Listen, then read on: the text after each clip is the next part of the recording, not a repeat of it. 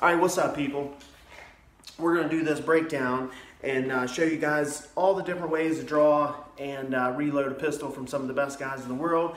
Going from USPSA gear, in the future we're going to do one from AIWB and rifle stuff and movement stuff and shotgun and I mean we could do whatever. It, endless possibilities of, of these breakdowns we can do in the future. And the reason I want to do these is because five or six years ago when I started into the pistol shooting thing and, and rifle shotgun and really wanted to get good at shooting, I would have killed for something like this. So that's basically, I try to think back and, and think of what I would have wanted and then I try to recreate that, that material on the channel here. So as we kind of go through this, there's a few things that I want you guys to do. One, I organically ran through this whole thing and talked the whole time and then just edit out some pieces. So I, whatever popped out at me at the moment is what I talked about. So if there's something that pops out at you with the person's technique that I didn't say, please put it in the in the comments. And then two, I want you just to understand how much film is important. Film has changed shooting, okay? The internet shared the film, but film is what changed shooting. All right, there is a million different ways to do shit. And, and a lot of instructors 10 years ago were teaching this is the way. And film and the internet being able to share that film has changed that and said, well, you say that's the way, but I've got a mountain of evidence that says these 38 people that are the best shooters in the world all do this shit different. So what are you talking about, Tactical Timmy?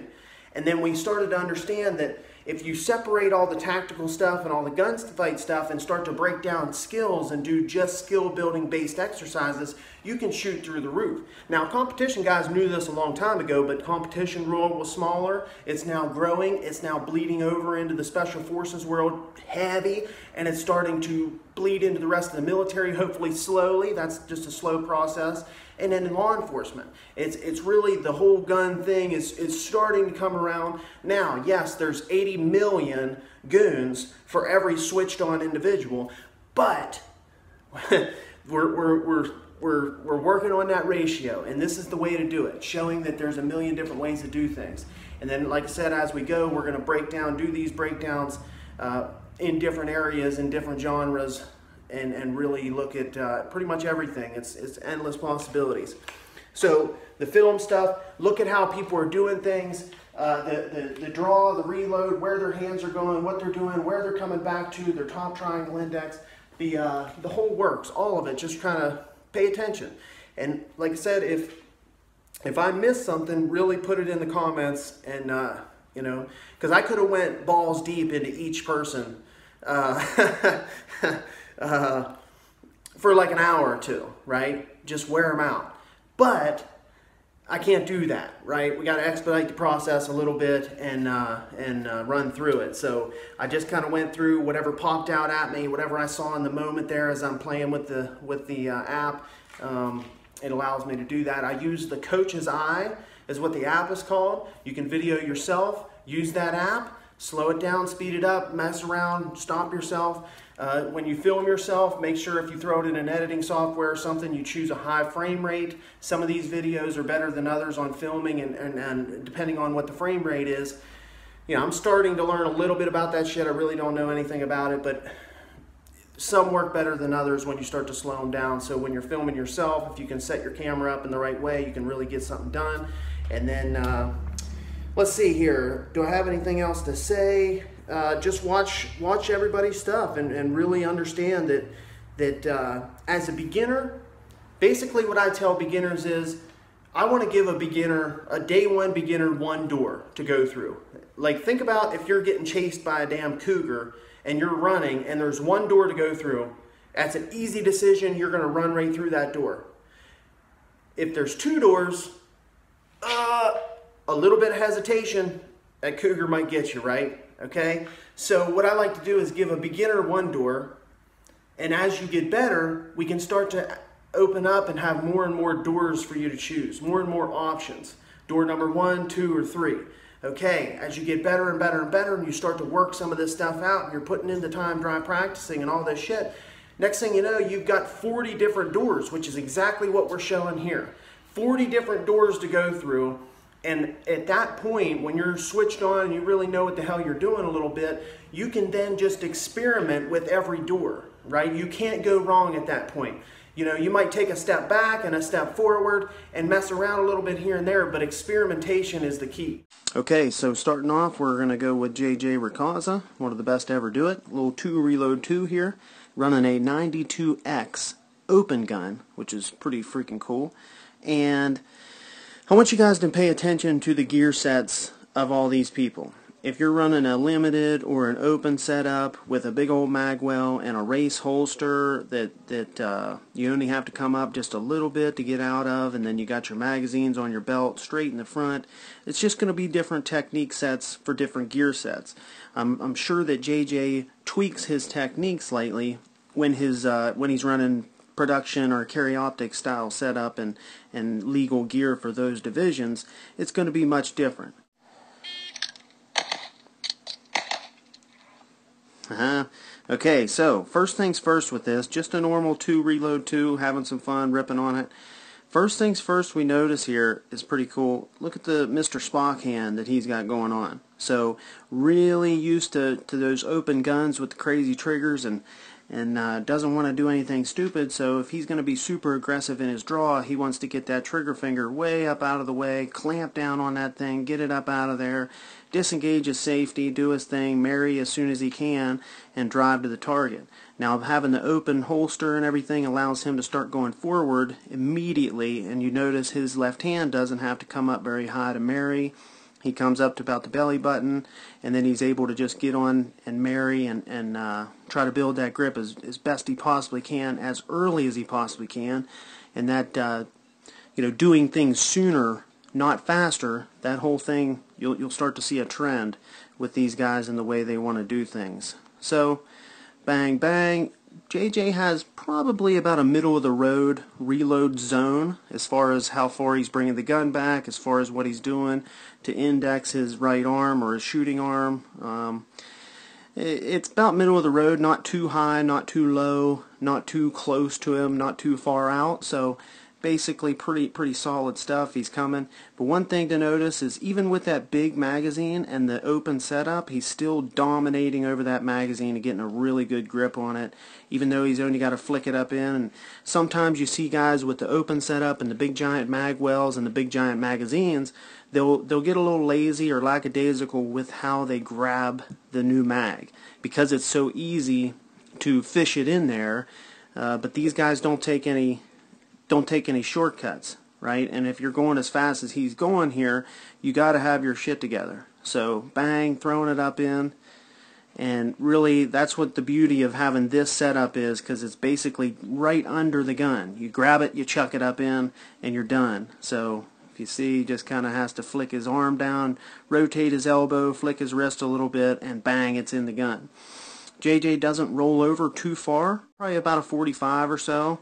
Pretty contrasting style here is Ben Stoeger. Looks like he uh, just stuck his head out of a car window at high speed. And uh, you'll see him draw, a good angle here, doing some dry practice. One trend that we're going to see is we don't want to go up any higher than we have to. So efficiency would tell us to come up just till that thumb and, and hand clears the gun and then snatch down and get to it. So you're going to see a nice solid draw, hand coming up to about the belly button, then it starts to roll over, pretty pretty normal stuff. And basically with all these draw stroke techniques, you're not going to see a whole lot of differences. Ben really what his thing is is he reloads the gun much differently. And he does go low. So he's down clear around his nipples and he also comes really tight to his body, close in. So you can see how close he is. He's only a couple inches from his chest. He, he's down around that nipple area. And then also Ben doesn't roll the gun over very far. He has like a palm flick right here at the end where you see his palm fling, okay? And you'll see that kind of uh, throughout. But his palm drives and he rolls it in in, uh, in a pretty cool way. And then also one thing to note is Ben almost brings his hips and brings the magazine pouch over to the center line a little bit when he goes to do his reload. So if you watch, as soon as he gets to, to start his reload, watch those hips roll around. He actually shifts his weight and he's pushing his ass that way to, to bring the magazine pouch over. But that's a cool thing to note. He's kind of shoving that around. And then bang on there, really aggressive, positive grip on there. And then boom. And then that little palm, that little palm heel, boom, in there. And if you notice again, when you don't roll that gun over very far, you can't see the magwell very good, but the roll on, I mean, his grip is built like now. So he doesn't have to do anything crazy to roll back onto his grip and present the gun again. Obviously he's low and, and close, but hey, you can't argue with how fast he is. So here's Tim Herron. Tim Herron is uh, really a solid, solid guy when it comes to this kind of stuff. His mechanics are just fluid and smooth and the whole works. Coming up, boom, getting on that gun as soon as he possibly can nice purchase. Hand, he actually does slap his stomach and really aggressively uses that right hand on him. He's a left-handed guy. Uh, coming out, marrying, using a uh, 1911 single stack. Bang, bang. Two shots. This was a two reload two at 15 yards. He did it in like 2.6 seconds, so pretty ridiculous. And then he does have a magwell on this gun, but it's still a, sting, a, single stack, so it's a little bit of a tougher gun. Obviously, you see he's got a really positive purchase on that single stack mag, all the way out at the bullet tip, pretty much. And then if you watch, uh, Tim just has a little bit of a lean over, just a little bit of a lean over, to open that up a little bit, and just a quick flick. So he kind of comes up, up, up, up, up, up, with that new mag and then a quick little flick in and he kind of does that palm heel style as well. Doesn't roll the gun over very far. Basically the old thing of, of pointing the mag well at the new mag. So not rolling the gun over very far, hits it, and then that little heel, that palm heel slam and then drive. And from him being a 1911 shooter, good chance that he developed that really hard palm strike in all his years with 1911s. Okay, so Bob Vogel here. Bob's doing an El Pres, and while he's doing the turn and draw, we may as well talk about it. First thing to do, with turn and draw, find that target. So his head is whipping around, and he's trying to find that target. But if you notice Bob's gear set, He's got a high holster. He does not run a drop offset or anything. He's got a high holster, high gun, and he's a long-armed dude, or at least looks like it. So he's really got to come up high to get on his gun and his reloads, and uh, you'll see he kind of does everything tight, but fairly high. And then uh, his top triangle is a little different. High arms, high shoulders, uh, high elbows, I should say and uh, we all know Bob's just a beast and he's just doing a little demo in front of a class right here. So this isn't a run that that he's trying to set the world on fire. This is just him doing a good solid run showing guys what's what's capable as we look at Bob's reload, one, he gets onto the magazine release quickly. He's getting that mag the hell out of there by the time he gets into his position. I tell people all the time, when you're hitting the magazine release and bringing the gun in, you basically want the magazine to fall down and hit you in the feet. So you don't want your magazine to fall down out here. That means you're not doing two things at once. You want to bring the gun in and hit the button at the same time so the magazine has momentum and it's flying in this way down towards your feet. You'll basically see that from everybody on here. Um, that, that actually hits him in the foot. As you see, Bob gets her nice and close. He's up in there tight. And he keeps it fairly high uh, to where his eye line and the muzzle aren't, aren't much different but he gets her nice and close up in, and that's probably from his years of shooting IDPA, winning IDPA championships, kind of reloading behind cover, that whole thing. And then one cool thing that Bob does, as you see, he rolls the gun over just a little bit more than some guys, and if you see, he rides that uh, that muzzle high as he uh, reacquires his sights and pushes that top triangle back out. Pretty neat style, and you'll see him do this all the time. And Bob is an iron sights guy through and through, basically. So I would imagine he's kind of driving, trying to pick that front sight up at the last second, and then bang, he's ready to shoot immediately. All right, as we look at uh, Max Michel here, this is an open gun, open rig, open setup, the whole works. So you don't really get a good good look at Max's draw. But Max's draw is damn near the same as everybody else's. The draw is, is something that you get the gun out of the holster and present it in front of your face. There's not a ton that you can do that's crazy different. Uh, for the most part, most guys are doing it the same. Now, Max's reload, you'll see some pretty cool stuff from this certain angle. Okay, one thing is this right here, bang. We're getting on that magazine release. You see exactly kind of the roll, and Max leaves it out in front of him, but again, he's bringing it in and hitting the release, so that magazine's going to hit him in the feet. Um, he he kind of keeps it out to the right side until about here. Then you see him slowly start bringing the gun back into the center line a little bit, but it almost looks like he's leaving it out and up, getting on that magazine button out and then all of a sudden just kind of rolls it right down into a spot to meet that left hand. And if you notice with Max, he throws this elbow out and goes down and up in like a little bit of a wrist flick and just slings it right up in there. Pretty freaking cool to watch. Now, if you do notice, he's using really big magazines, so he's got a fairly low grip on the magazine as it comes in and out, and that's something you can afford to do when you have a big old magwell. And this was an awesome looking reload, but he did miss a little bit. So as he misses just slightly, right there, with a production gun or a carry optic gun, that's a that's a that's a stubbed toe right there. Uh, with a big old magwell, he's able just to kind of fiddle, boom, drive it in like nothing ever happened, and keep keep working.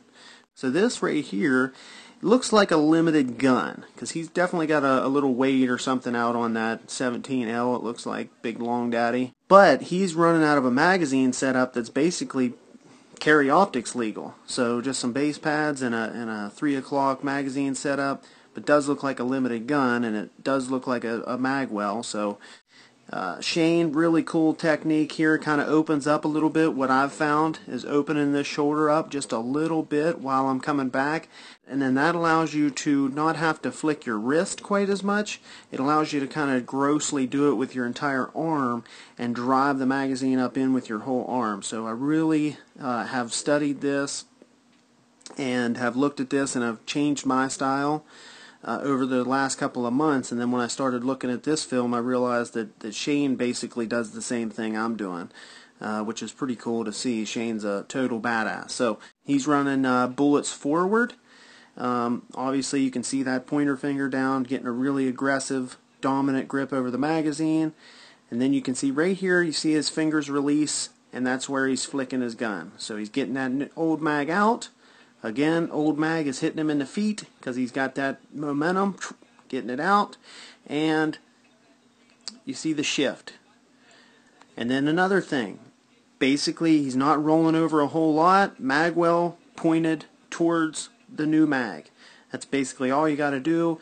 Now Shane keeps her nice and high. He's coming in fairly tight, but he's keeping it high. So if we just look at all the different guys, you see that there's there's a, a million different ways to do it. This is going to be the only difference in draw that we're really going to get into. These are some scoop draw clips of me.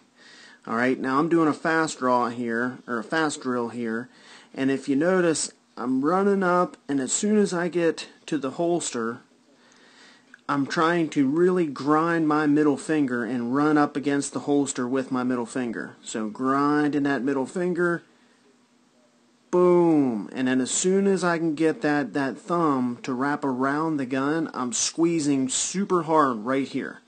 So the second my thumb feels my hand I'm going up against the holster and as soon as my palm feels that I'm at the end of the gun I can really jerk my hand around it and uh, pretty much squeeze really hard one time right here. And then I, I get to loosen up just a little bit. I know I've got the good grip. Everything's solid I'm waiting until I cross, okay, then I'm putting my hand in there. Same old, same old from there. The only difference is, is how I actually grab the gun out of the holster. Ding, ding, uh, working fast drills here, no slide lock or anything. And then this is uh, just, just my reload technique.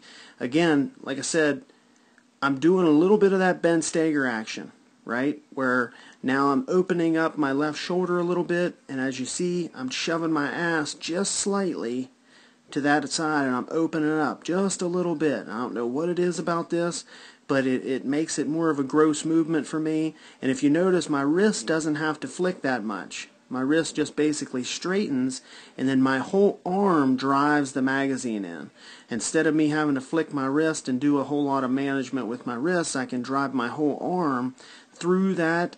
And then what I like to try to do is think about driving my, my left arm from mag pouch to the target. So I want to drive the entire reload back to the target with my left arm. Uh, that's harder, that's easier said than done, but it is something that I like to try to do.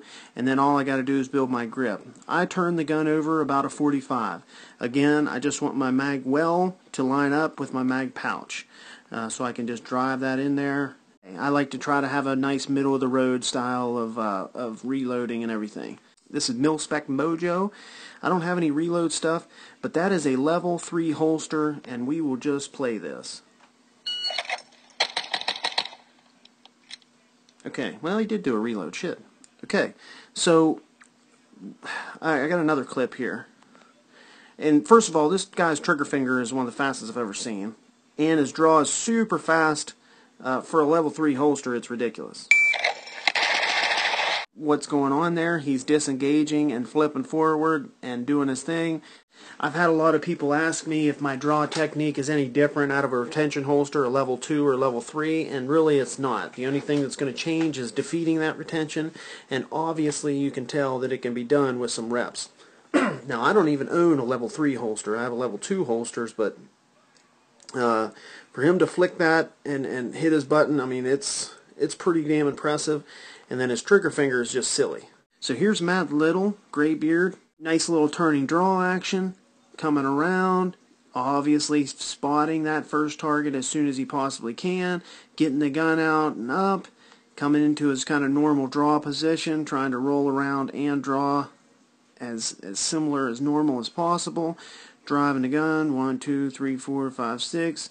You see even in that little bit, he's shifting his hips to transition the gun and push the thing around. And then coming back for that reload.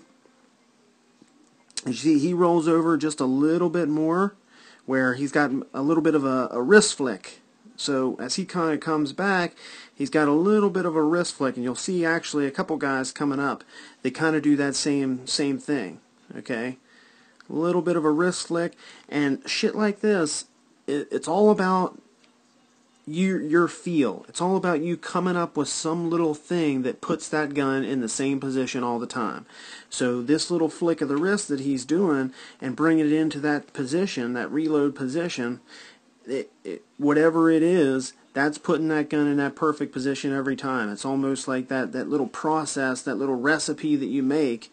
And his roll on is really solid, driving that thing in and rolling on. As soon as he builds the grip, he's pretty much done. Just build grip bang. So solid, solid work there. So as we go to another guy, he does kind of the same thing, a little bit of a wrist flick there. So you watch, he's indexing, got his index points obviously on his gun and his holster before he draws, boom, comes up, conventional draw style, gets that left hand over there at the belly button area, just waiting to meet that gun, comes up under, bang, bang, boom, does his thing, another four aces drill, and then you see he really flicks this gun, okay?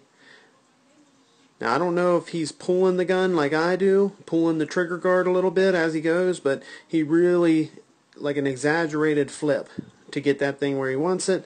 And then if you look at that grip on the gun, man, he really flicks that thing. So he's got to do a little extra roll to, to, to put his whole position back together. The elbow's kind of out. Then he brings it in. And then if you notice one thing that Joe does here, he really slams the gun onto the mag. So he's kind of doing a double take there. I I really recommend for people not to do this at first, but if you're putting in the reps, you can you can literally, as we've seen through this whole video, you can do anything you want as long as you put in the reps and find that thing that works for you. So as you see, he brings both hands together really harshly. Boom. And then that's another thing that the Magwells, uh, the limited guns, the open guns, they're going to give you some help when it comes to that kind of stuff. Here's another guy, Jack Shoots, Instagram guy, super good shooter. he's got a cool style. He uh, he's a shorter guy, and he presents the gun really close to him, just like Frank Proctor, really close to his face. So he does a nice little flick too. You'll see. Uh, I don't know if it's you 2011 guys, but he's just rolling, does a nice little flick there, and, and, puts it into his position. And then as he slings that magazine in, he rolls back on. Look how he doesn't have to go anywhere, man. He's putting it back in, and he's out. That's his position. That's where he shoots from, and he does work from there. So it's an interesting style and an interesting way of doing things. But I'll tell you what, it, it works because he can he can reload the gun and he's back up in his position ready to go. So it's a it's a it's a definitely an interesting style of things. All right, so I just added this in here because it's ridiculous. All right, this is Keith Garcia, and we're going to watch him with a pistol here in a second. But this is a .9 reload with a rifle, and it's not even an AR-15. It's a 308. It's a POF Revolution, which are pretty cool. But check this out.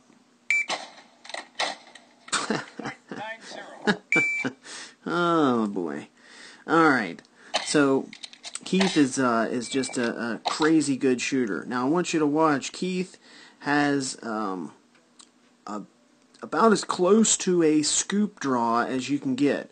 I've watched several of his videos, and he's not scoop drawing, but man is he close. And I'll tell you, I guess maybe it's from so many reps that that he doesn't have to come up over that gun, but he's damn near scoop drawing. He just kind of comes in on the gun, as you see kind of from the side. He's coming in on it, and bang, snatch, and he's gone. So damn near, damn near a scoop draw, almost like a hybrid scoop draw.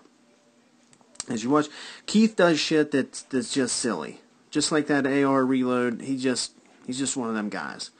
Uh, one of the best shooters on planet Earth. So three gun, all of it. Shotgun shit that he does is just crazy. Um, as you see, he's coming in nice and tight. Keith uh, puts his head down a little bit. So when he goes to his reload, you notice nothing really changes. He kind of comes in, ding, comes in, ding, comes in, ding. You know, nothing changes. He's doing so little work to get such crazy amount of shit done. Just watching him, he's just a super efficient guy. So we'll just watch this in all its glory here.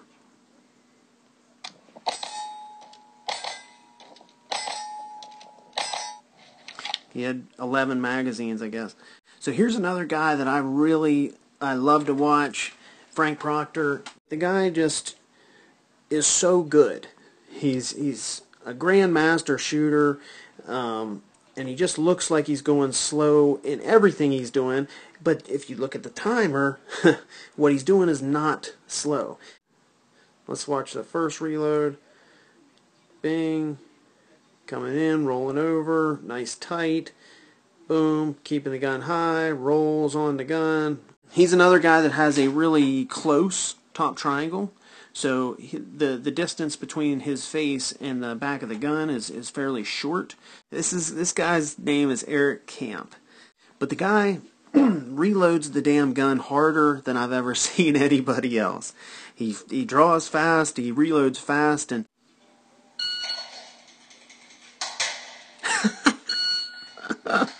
I mean, it's just hilarious how hard he hits the gun.